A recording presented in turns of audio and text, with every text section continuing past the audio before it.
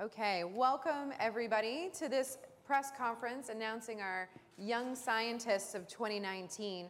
So, welcome. The Young Scientists community is established, or was established by the World Economic Forum to really bring together unique perspectives from some of the future leaders of the scientific community. So we wanted to make sure that the annual meeting of the new champions is not just about those in the in the tech community. It's not just those in business but we're really bring, bringing together those who are really focused on cutting edge research who are thinking differently so that way they can not only learn from each other but also interact with our other communities here across the world economic forum. And so i have the privilege of being joined here by three of those uh, four of those leading young scientists only day one here. um, and so I'd like to introduce each of them.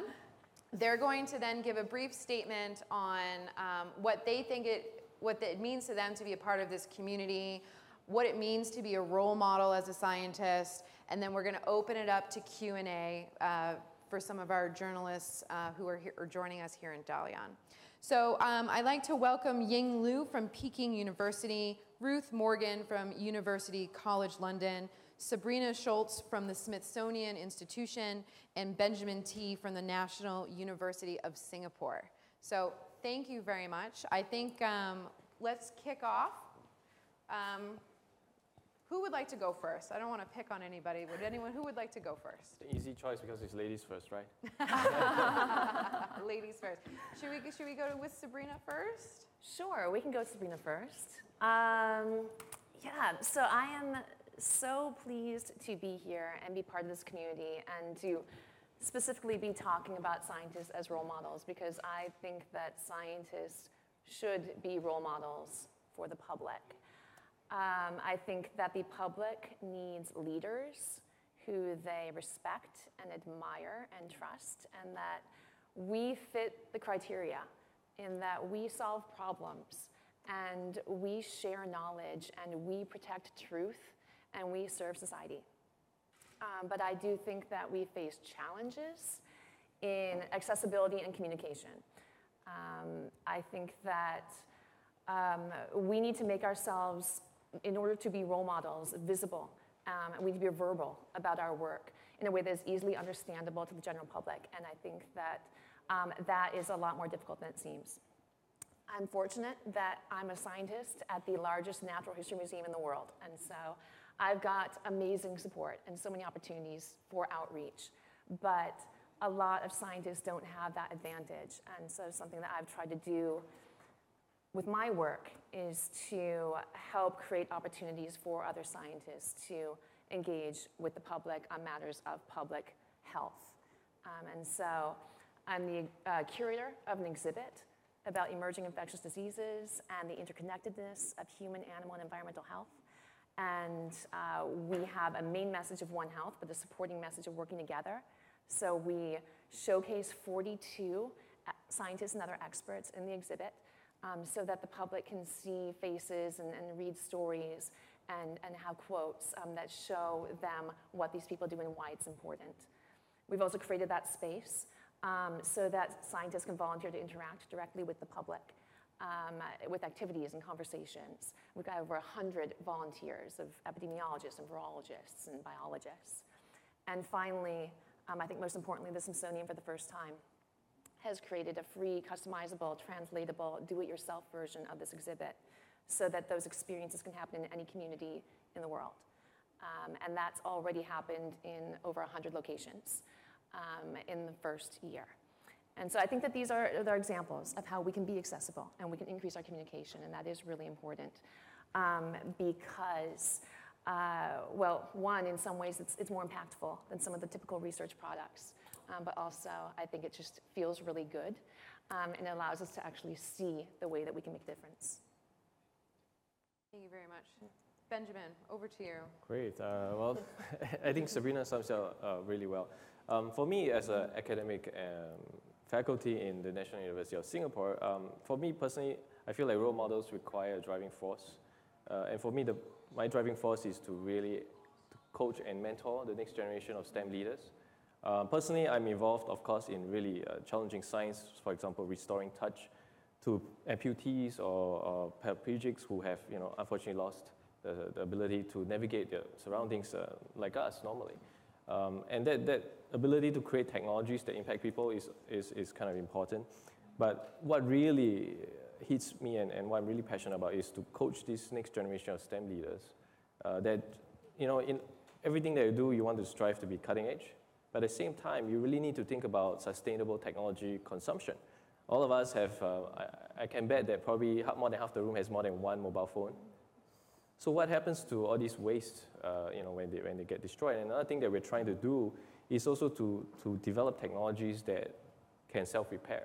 Can your mobile phone, when you crack it, self-repair? And um, I think so we can potentially reduce the 40 million tons of e-waste generated every year. So for me, being able to coach and teach students about this importance of, at the same time, driving cutting edge technology, but also sustainability is, is, uh, is important as a role model. And as a role model, we almost uh, cannot slip up. And so, you know, but uh, I, I kind of take up the challenge, and because I, I really feel uh, passionate about, uh, about you know, leading the next wave of innovators, right? I mean, we are, we are still young scientists, but not so soon anymore in, in the next 10 years.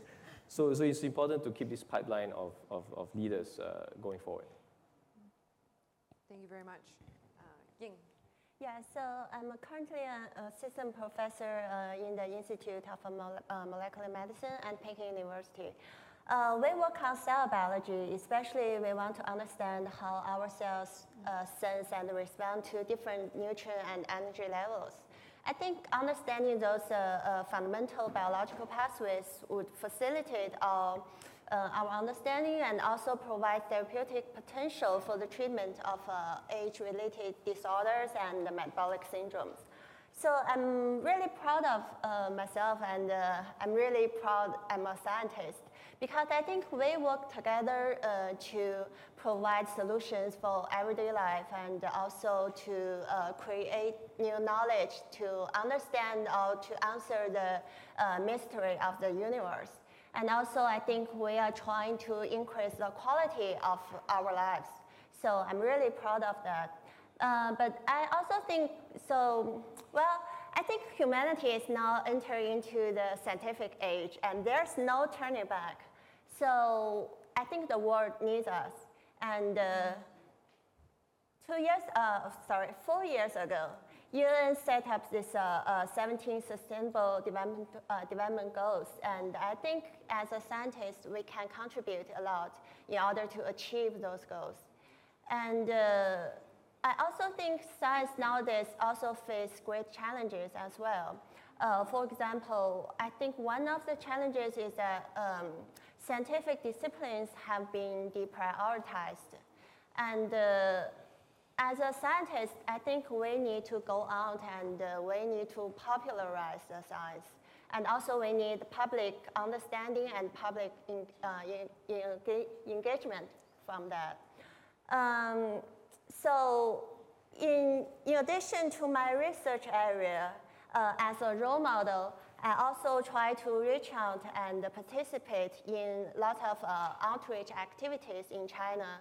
Uh, we mainly like uh, to, for example, we have launched an online course uh, called Life Sciences for Elementary Grades because I think childhood exposure to uh, life science or other STEM subjects is one of the most important factors for children to explore in the future and uh, also pave the path for a scientific career. And also I participate in the TV shows and social events such as uh, uh, our Active Forum to share my own experience with, uh, as a female scientist. Because I think uh, young girls, they need more encouragement and also I'd like to, or maybe I, I want my effort can change the perception of what female scientists look like and what we do. So I hope my effort could empower the young girls uh, to break the barrier and to uh, pursue their interest in science. Ruth. Thank you. A tough act to follow. Um, I agree with everybody to my left. Um, I think what we see in a very complex world now is that there are lots of very big challenges that are not going to have simple solutions because they are so complex. And I think that's where science has a significant role to play, partly because science is so diverse in and of itself, but also um, as scientists, I would say we can take on a role of wanting to be the communicators between the science world and the policy world um, and, and the public. And I suppose from my point of view, I'm a professor of crime and forensic science at University College London. And we have a very, very specific remit to address a very significant societal issue in terms of how science is used in the justice system. And I would say we take that incredibly seriously. So we want to be making sure that all of our research is casework informed and that it brings together um, the key stakeholders who have a role and a voice in that, in that scenario. And I guess just one example of how we've been trying to really get the science to where it needs to be to make a difference in these big challenges has been working with um, those in Parliament and advocating for the need to address the, the, the, serious challenges that science is facing in the justice system, um, particularly in the UK, but it's a global issue. Um, the nature of, of science and justice is, is, is a global one. So I think ultimately, as scientists, we're in an incredibly unique position in terms of being able to rub shoulders with people who have a scientific background and we, uh, we appropriate similar methods, but we have completely different fields. And I think that really equips us to then be able to go into that, into the world um, and hopefully be really excellent communicators of what, we, what the science can tell us, the kinds of answers that science can give, but I think importantly the limitations of science currently, um, where there are things that we don't know that we could know that warrant um, investment, even if potentially they don't have um, ostensible uh, economic value. They, they potentially have huge value to society. Um, so I would say that's something that we are uniquely placed to be able to do, and it's amazing to have opportunities to speak about that and to engage with a completely diverse group of people and um, see where real world challenges are at and see where the science is at and see where we can bring those two together. Well, thank you very much for your initial comments, and I think you can, you know, agree with everyone in the room. We're really happy that you're a part of this uh, new community and providing, you know, all these additional viewpoints to um, to the annual meeting of the new champions. I'm going to be very selfish and ask the first question to the group, um, and then we'll open it up to everybody.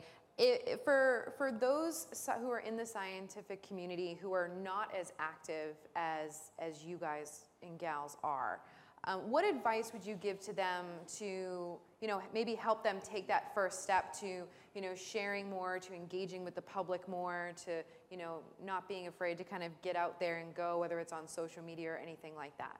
Where would, where would you suggest that they start? Well, Twitter is always a good, good place. um, well, de definitely, I think uh, they, um, taking advantage of some of these new social media tools uh, mm-hmm. is, is definitely almost a must in today's uh, connected, uh, hyper-connected uh, economy, and also more of these, uh, the reach that you can have is just tremendous, right? With one tweet, you could reach basically almost, uh, I don't know, half the world. I mean, the, the penetration rate of the internet is, keeps increasing. Um, one challenge for me when I kind of started trying to do outreach is, and communicating some of my science is, you know, I have to be able to draft what I'm, I, I care about in a way that can, other people can relate to. And, and you have to find, so one advice is to really find a message that, that you genuinely is, is inter- you are really interested in. It may take a few days or even months to distill what you really care about, um, but it's a process, right? So you got to start. And uh, one, one easy way is to, is to actually look up uh, current some of the scientists uh, that have a lot of uh, media outreach and see what they're doing, and maybe just say hi to them, right? And it's so easy to do that these days. Yeah. I mean, I, I certainly agree. Um, social media, um, science Twitter is actually fantastic in a professional way, I think, for many of us. Um, not only interacting with each other, but also communicating about our work and commenting on others. um, and really allowing the public to see how our conversations can happen um, and how we can actually um, engage with the with the, the research products. And I also agree that in terms of just finding opportunities, um, maybe through other people, or um, certainly I think that um, it's something that is difficult to make time for and to find the energy for when it's not valued traditionally in the same way as our publications um, and the other ways that we tend to communicate and disseminate what we do. But it is important and it is difficult. And I think there's also a lot of opportunities to get training. Um, there are books out there, and there are also, um, you know, people who make a living at doing this, and um, so much other content I think that you can find to even get, a, a, a, I guess, an interest in it, or maybe develop, um, you know, skills that you think you may have, and that may help you direct um, those skills towards an audience that might be particularly good um, for the messages and the goals that you have. Yeah, I totally agree. So we don't have Twitter here, but we use WeChat and Weibo, so uh, another ways uh, of the social media. So I would think just don't be shy and try to uh, explain your own story or your research study in a common way so the public can understand. I think that's the first baby step that you can go. Yeah. I think, yeah, I would add, um, don't be f- afraid of failure. I think the thing that holds us back often is not knowing if it's going to work out or if we're going to be, um, we're going to fall flat on our faces. Um, and the thing I've learned is that until you try, you don't know what you're good at, and you don't know what you, what opportunities might be out there. So de- definitely don't let fear hold you back. Um, and then the, I guess the other thing I would say is I've learnt so much by the questions that people ask me when I'm talking about my work um, with non-specialists. Um, it's helped me refine what I'm doing. It's helped me refine where our focus needs to be.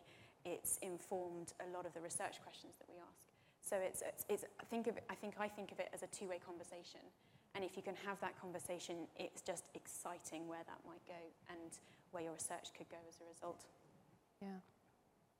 And I find that people are quite excited to get to talk to scientists.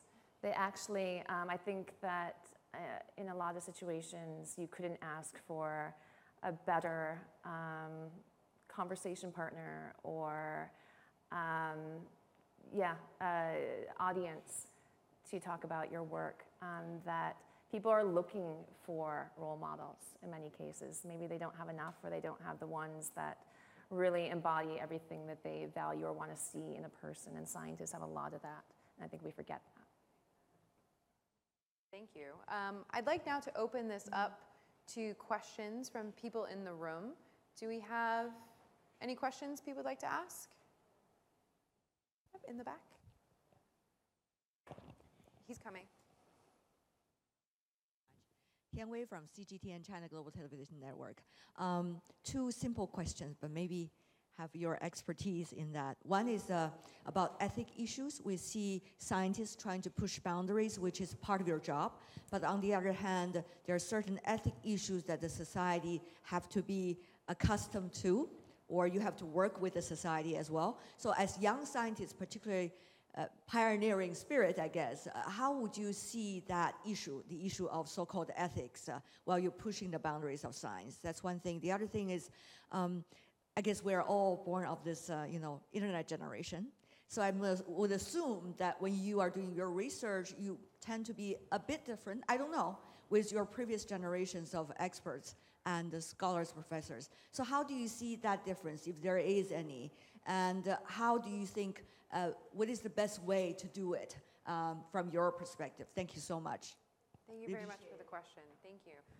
Is there anyone who wants to jump in first? Uh, well, I think thank you. This, those are really tough questions, uh, but also very good ones. I think ethics uh, is something that we all care about, right? I mean, definitely we have to have integrity. I mean, I think that's sort of the baseline. If you don't have that, nobody's going to believe what we are saying. Or, um, and, and we have to hold, as scientists, we definitely hold ourselves to a much higher standard at least for me, I'm, I'm, I'm yeah. sure definitely everybody else in the room who are scientists do that.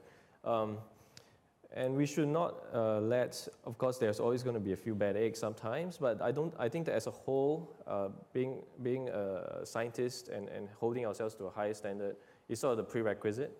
The other thing is that ethics is an evolution, in fact, a process. Um, if, if you look at many of the changes that we're having in the last two or three decades, you, you talk about internet generation. I was born without the internet. Uh, mm-hmm.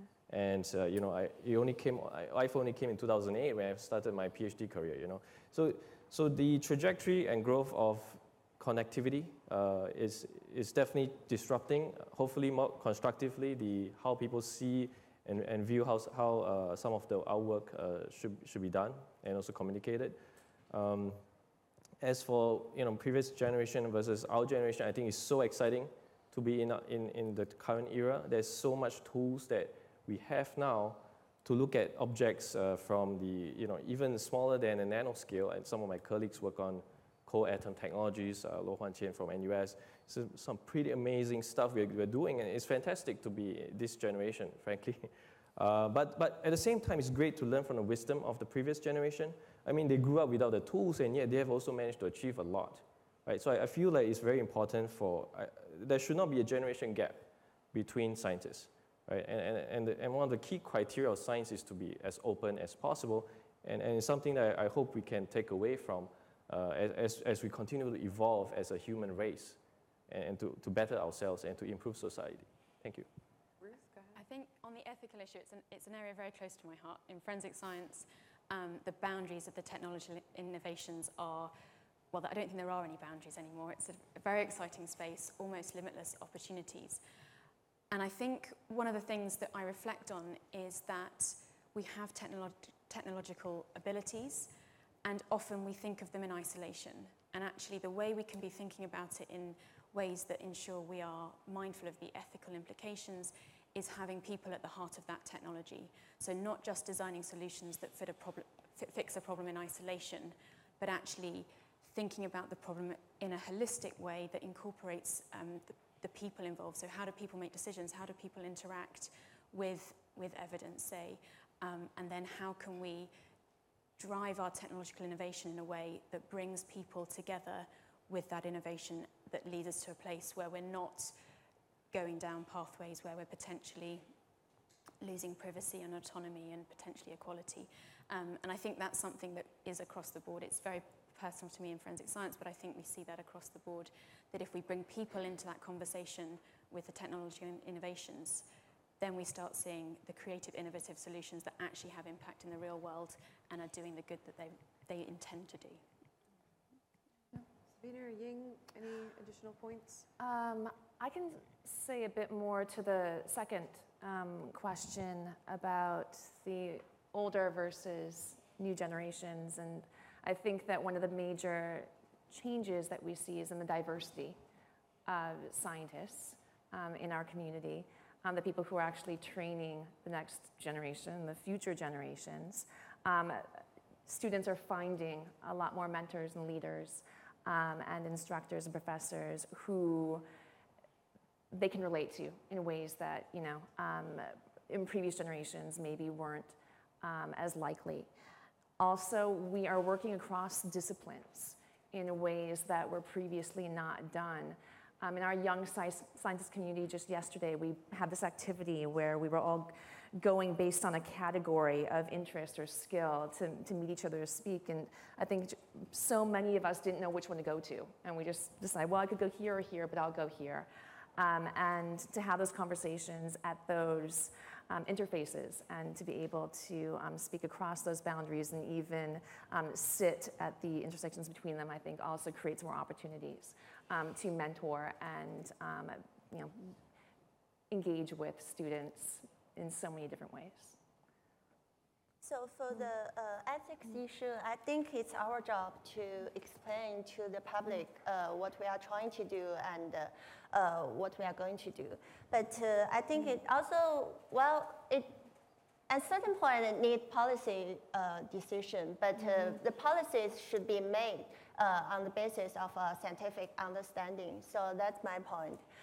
for the second question, I think our generation. Um, I would think international collaboration is a big thing happening right now. And uh, with the internet and other development, we can easily send emails and uh, we can easily communicate with uh, uh other faculties in different countries. So it actually helps us to establish uh, international collaborations with uh, different labs.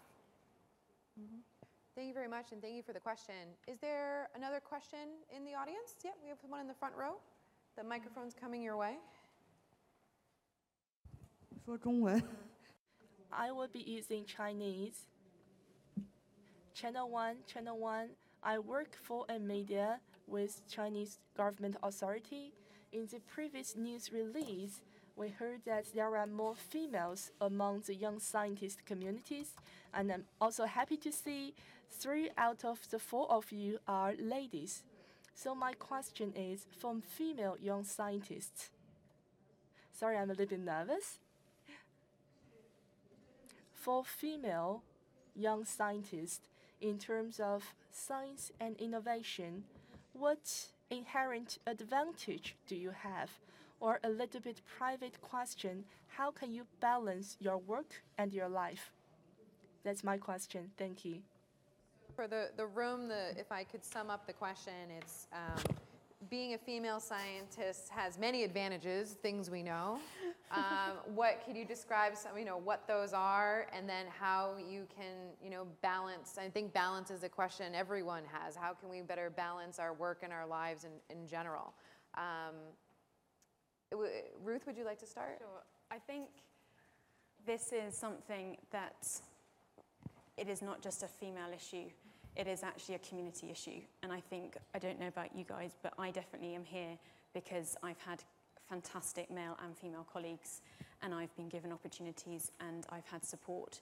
Um, and I would see that um, it's, it's, it's a sign of how well our community is addressing this challenge together that there are three of us here and more um, lo- lots of women within the Young Scientist Programme. Um, so I think balance is something that every single person struggles with, particularly in science. Um, it's one of those areas that because we're passionate about what we do, it can be very difficult to, um, to establish balance, and it's something we've been talking about a lot, um, even in just one day. So I think I would just say it is, a, it is something for the whole community to work on, and I would like to thank the community I've been working with for, for working so hard at it and getting us to where we are. And let's keep going because there's still a long way to go. Ying, do you have anything to further to add to that? Yeah, so I think uh, the first question, um, advantages. So, um, well, in terms of science, I would think uh, female scientists would be more patient and uh, pay more uh, attention to the details when we are doing experiment. That's yeah, what I feel. But uh, for the second question, I would uh, like to add is um, um, first of all, I think we need family support. Uh, that's very important for me. And also, um, I think, especially in China, the, the culture and perception is like, well, it's really harder for female scientists because they, they expect you to spend more time uh, with your family. And uh, the thing that I'm trying to do is try to uh, increase my work efficiency and uh, try to, um, yeah, shorten my work time but sp- spend more time with my family. Sabrina, any thoughts? Uh, I mean, I, I suppose that, I mean, I feel that the best qualities of a scientist don't map to gender and that there's so much individual variation that, you know, I, I, I couldn't say that there are any inherent, you know, advantages that I have um, for that particular reason um, or others. But um, yeah, I mean, to the point that everyone said, I, I, I think that um, certainly I've had mentors and supporters, you know, just in from all, in all different ways, all different types of people. Um, and that's just been so valuable, and that's something that, you know, needs to be embraced and continued. And then as far as balance, um, how one balances, again, that's so hard to say. You know, that's an individual uh, situation, and I'm not sure how one would do it or how I do it or if I do it. Um, only that when you're doing science, I think um, you are so rewarded. It's such a gift to be able to do it. And I think that there are so many moments um, of joy and discovery. And um, it's, a, it's a privilege that I think makes it hard to even feel the weight of an imbalance, um, should you have one. Great. Uh, I'm not sure if I should add anything, but my wife is a female not? Scientist. so my wife is a female scientist. So I, I, Yeah. I no, I mean it's perfect. I have fantastic uh, female colleagues, and um, so I also at the same time, for speaking from a male perspective, I really do try to balance uh, gender uh, equality as well. In my group, I try to have at least a 50% uh, ratio because I really think that this diversity between genders help generate tremendous creativity. Right, and, and it's something that I, I feel that as a, as male, male scientist, uh, we should definitely encourage um, this kind of structure uh, in, in science. I've, I've benefited. My previous supervisor was female. She's fantastic. She balances the work-life balance. I, I'm learning from her, so I have no complaints, uh, at least from my point of view. Well, I think we can all agree that this is a very impressive panel, except for myself. I clearly can't do math. Um, but I think um, I'd like to say thank you very much for your time. Thank you for your insights and sharing with us your thoughts and also letting us get a, a glimpse into, into your work. I think it's very fascinating. So thank you very much, and thank you to everyone who's here and on our live stream. Thank you.